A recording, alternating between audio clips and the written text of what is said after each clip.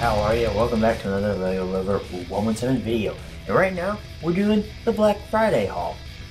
Or technically it's the day after Black Friday. Yeah, I actually didn't go out on legitimate Black Friday this year like I did last year. Uh, I went today, which is Saturday, and it's technically the day after Black Friday, but the place I went to, Meijer, they had a substantial amount of stuff left over from Black Friday, and I was actually surprised at what they had left over. So, without further ado, I'm going to show you guys what I picked up here, and I'm going to unbox it for you all. That's why I have the pocket knife here. So, the first title I picked up is the first Hunger Games movie. Now, this was uh, originally right there was $10. Alright, now that red dot means it's $5. So I got it for half off. Now, I already own Hunger Games Catching Fire, and I picked it up at Target um, the Wednesday before Black Friday. That's because my Target had already had their Black Friday prices in full swing. So Catching Fire was $5. The, the first one was $5. So all in all, was a pretty good deal for both uh, of uh, uh, of them, and I'll just watch Mockingjay Part 1 on Amazon Prime. Without further ado, let's open it up here.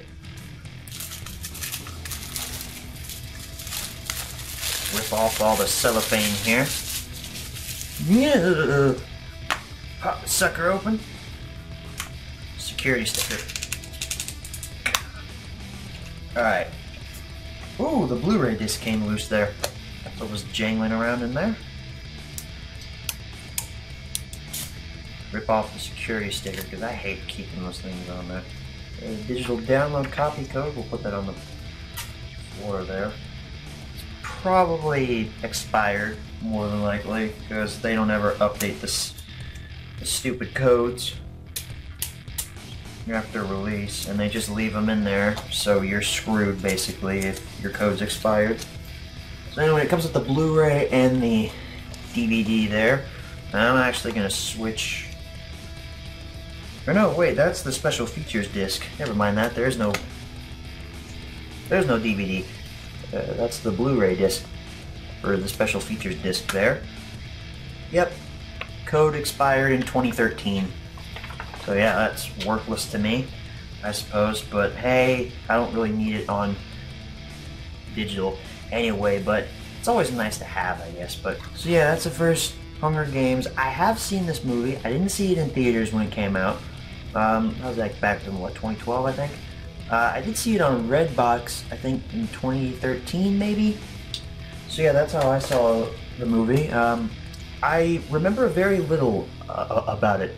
Actually, I rem I remember there's a lot of shaky cam. So I remember that very vividly.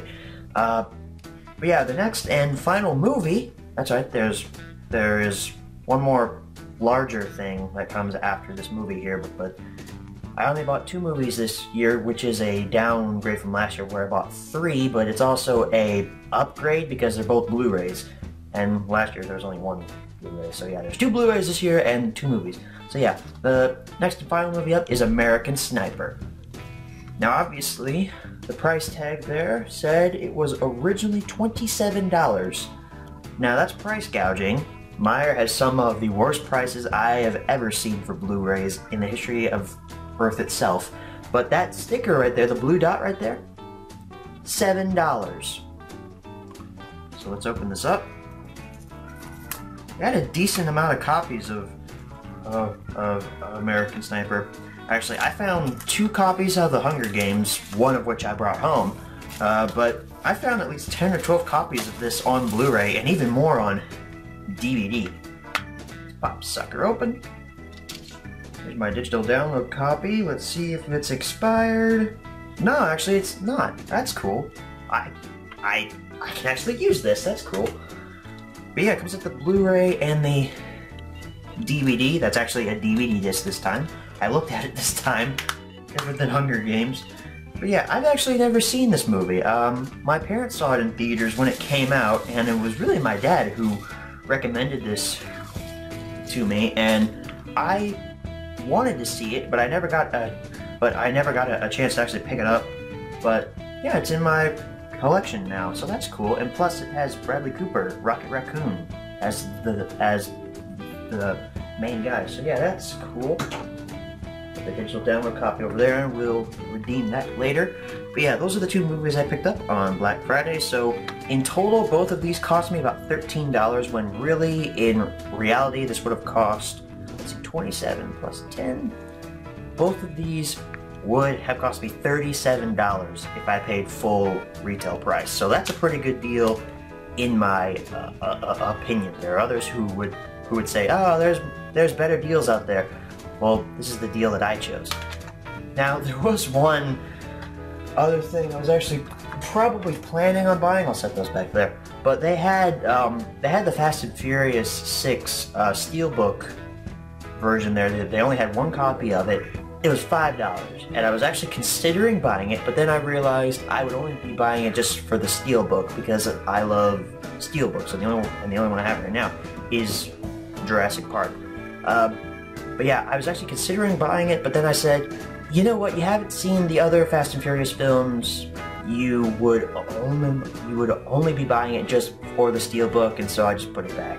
So I was like, yeah, I don't I don't think I'll buy it. But yeah, there is one other thing that me and my parents actually pitched in on paying for. I haven't paid my part for this yet. I'm waiting till Christmas to take care of that debt. Uh, but yeah, there's one more thing that is technically a Black Friday purchase by me. So I'm pretty sure you all have seen my vlog about me, you know, watching watching those two Clone Wars. this, so it's right, this vlog right here. Boop. But yeah, I'm pretty sure you all have seen that by now. And in that vlog, I mentioned that, hey, my HP Pavilion took a poop on me. Well, I said, you know what, I had already gotten the hard drive back for it, and I still haven't transferred those files yet, but pretty soon I will, hopefully. Um, and that's why home media reviews and the Thompson Railway re reviews have been on sort of on sort of a hiatus recently, and until I can get those files off of that hard drive, then yeah, I won't bring those series back yet. But pretty soon, hopefully. But yeah, I have actually acquired this little puppy right here. This is a Asus laptop. So yeah, this is a Asus laptop. It is muy bueno. I speak Spanish now. I mean, yeah, check this thing out. It's really nice. I like it a lot. It's silver down there. I'm watching some YouTube, watching some John Flick stuff. Go subscribe to him. By the way, he's a cool user. And here's the home screen. It's still Avengers and such. I've been slowly reinstalling the programs I had on I had on the old one. I have Google Chrome, Skype, Vudu, and any video converter. Haven't installed Camtasia or Roblox or iTunes yet, but I'll...